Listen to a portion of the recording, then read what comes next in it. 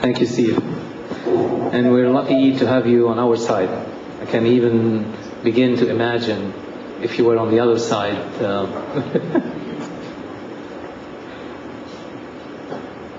Good afternoon.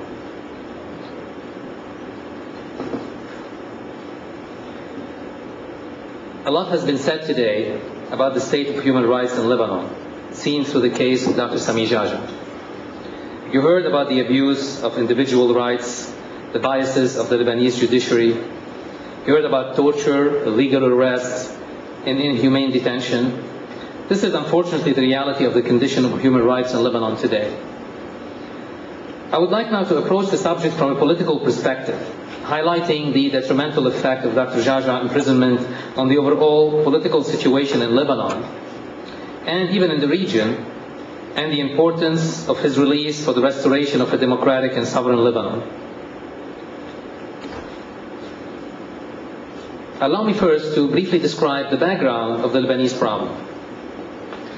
When analyzing the history modern and ancient of Lebanon, particularly the history of the Lebanese conflicts and wars, one can easily note that the repeated Lebanese crises are the results of two major factors.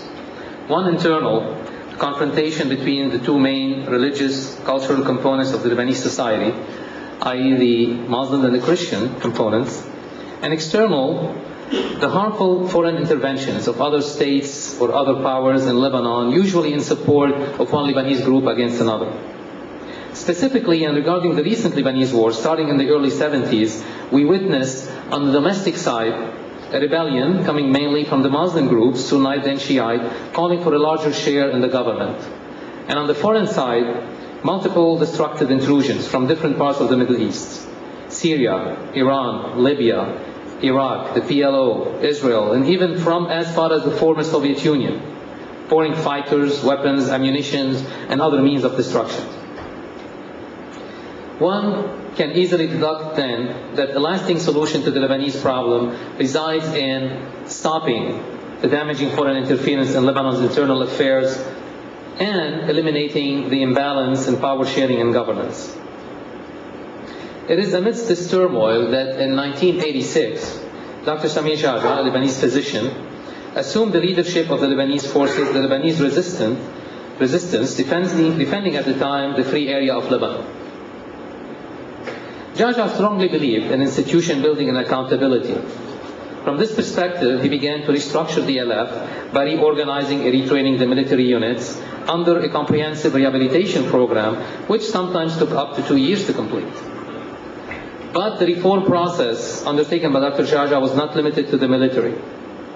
He established a civilian administration for the free area of Lebanon in the absence of a state authority to provide multiple services for the population, from police and law enforcement services to health and educational assistance, affordable public transportation, welfare support, etc.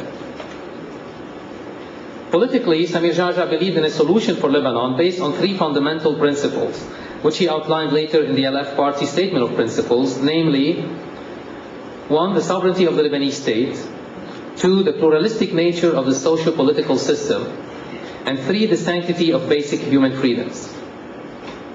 So in 1989, when Lebanese parliamentarians met in the city of Taif, Saudi Arabia, under Arab international auspices, including the United States, to search for an end to the Lebanese war, and when they drafted a document of national entente, the so-called Taif Accord, based on the sovereignty, equal power sharing, and pluralism, and the respect of human rights and freedoms, Samir Geagea saw a window of opportunity to turn the page on the Lebanese tragedy and start a new era of stability and peace in Lebanon.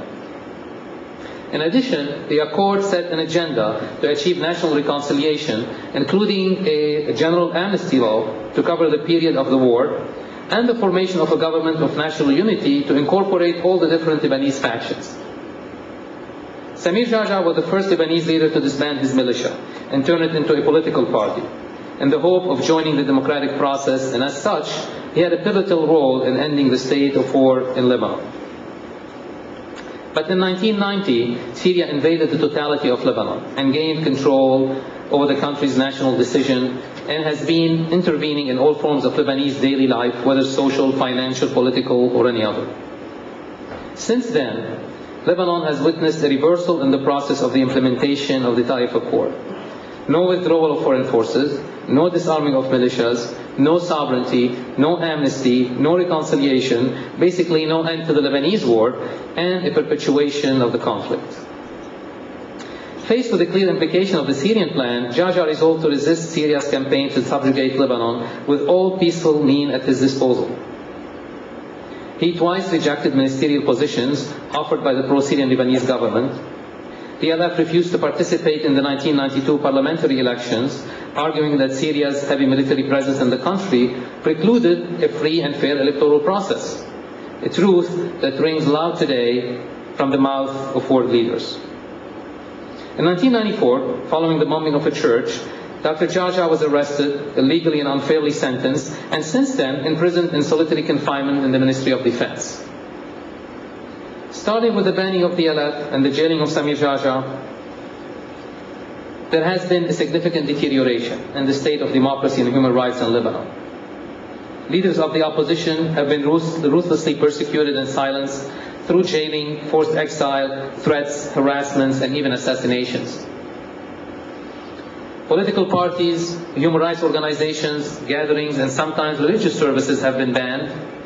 The media is muzzled, TV stations are forcefully shut down or severely penalized when critical of Syria. Individual freedoms are constantly violated, and arbitrary arrests, illegal detention, torture, and death under torture became common practice.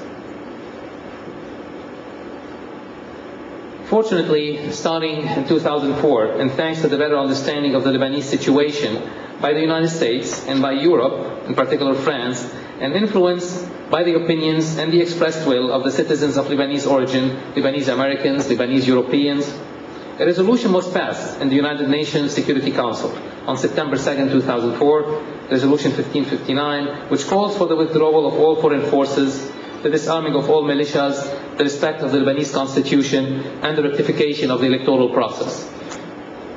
And following the assassination of ex-premier Rafiq Hariri on February 14, 2005, an independence uprising, also called the Cedar Revolution, was started in Lebanon. Syria, the main occupier, is now being forced to withdraw from Lebanon. So there is finally hope that the foreign interference may end. But let us not forget that to build a stable Lebanese nation, it is crucial to achieve true national reconciliation and to respect the human dignity and the civil and political liberties. My friend, the long list of tragic events in Lebanon after the Taif Accord, up until the killing of Rafiq Hariri, started with the persecution of the Lebanese Forces Party and the jailing of Samir Geagea. Similar to the historic turning points that took place in Africa and in Europe with the freeing of Nelson Mandela and Lech Walesa, the liberation of Dr. Geagea could, reserve, could reverse the long process of oppressing the free people of Lebanon. And then Lebanon could truly join the community of democratic and free nations and become again a beacon of progress and prosperity in the Middle East. Thank you very much.